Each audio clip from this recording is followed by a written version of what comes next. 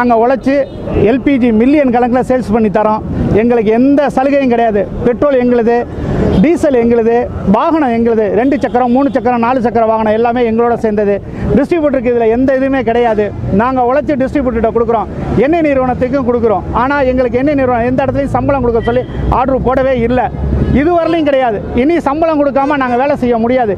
இல்லைன்னா நாங்கள் விநியோ அதாவது கஸ்டமர்கிட்ட நாங்கள் ஐம்பது ரூபா வாங்கினா தான் எங்கள் குடும்பம் தள்ள முடியும். நீங்கள் மேலும் மேலும் பேப்பரில் போட்டுக்கிட்டே இருக்கிறீங்க. டிப்ஸ் கொடுக்காதீங்க கொடுக்காது அதனால வாடிக்கையாளருக்கும் எங்களுக்கும் டிஸ்டன்ஸ் மெயின்டென்ஸ் ஆக ஆரம்பிச்சிருச்சு. புது கனெக்ஷன் பிடிக்கிறது பூராமே நாங்கள் தான். நாங்கள் தான் சேல்ஸ் பண்ணுறோம் சேல்ஸ் ஆஃபீஸருங்கிற ஒரு ஆஃபீஸரோட போஸ்ட்டே தேவையில்லாதது.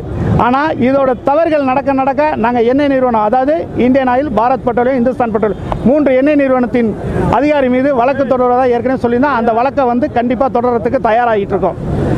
நன்றி வணக்கம். என் பேர் கணேஷ்.